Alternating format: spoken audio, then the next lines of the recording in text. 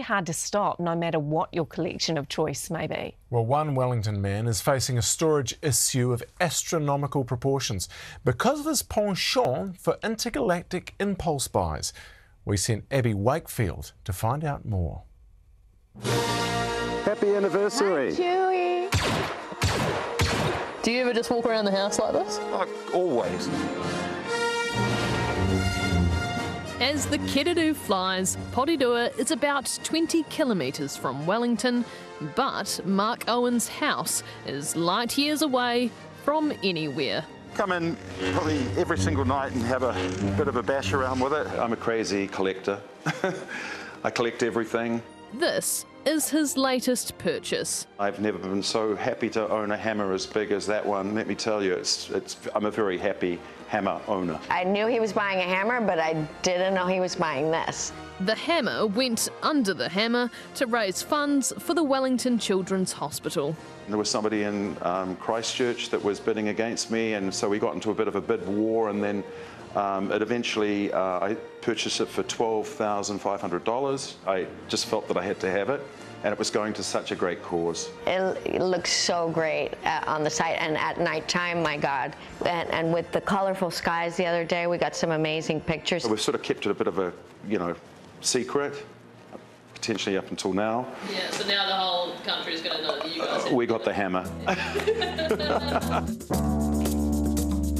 Despite being a big fan of space, Mark doesn't have much of it left in his garage. It's a mess. Do you remember the first item that you got? Um, yeah, that would have been R2D2. Shall we go have a look at R2D2? Have a look at R2D2. R2D2. yeah, this was our first, my first purchase really, and, and I would imagine this is probably what got me going. Um, you know, once you start, where do you stop? And stop. He did not.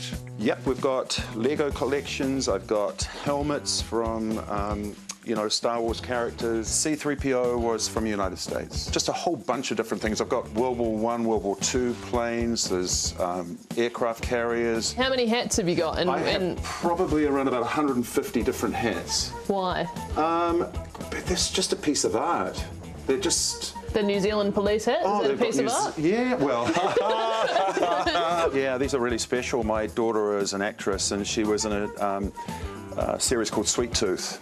And uh, uh, I said to Stefania after she'd completed the uh, three seasons whether we could actually keep the costumes, and they very kindly gave them to my daughter, who surprised me and uh, arrived at our home with a box filled with all these beautiful costumes, which I'm very proud of. But behind every hero, there's a villain ready to challenge them. And this year, Mark fought an enemy of his own. Had prostate cancer, and um, my PSA reading was 18, which was extremely high, so they thought it might have metastasized. We got through it together and realized how precious life really is, and that in no time at all it can be taken from you so quickly. So again, you just have to enjoy every minute, make the most of every second, and you know move forward positively. And I'm now 100% clear, which is fabulous. So I survived. Now, he's bringing the galaxy to his own backyard. What do you think your kids are going to say when they see this? Dad's gone crazy. He's hired some clones to build a Star Wars themed barn where his collections will be put on display. It's what I've dreamt of having. It's, I'm so excited about it. He's a big kid, and it's really sweet that that inner child in him is so alive. But every main character needs a sidekick. It won't be long until Mark's walking into his very own Star Wars bar. What are the plans for the big day? Well, I think just everybody gets into whatever costumes that they want and, um, and that we party.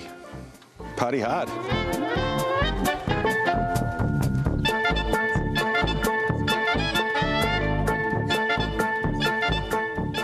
It's not easy shoveling things in a stormtrooper helmet, is it?